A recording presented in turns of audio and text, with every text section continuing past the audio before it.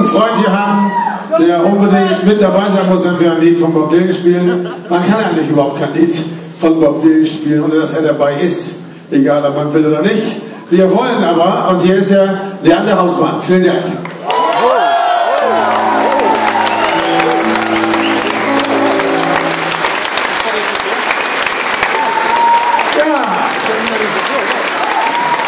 Vielen Dank.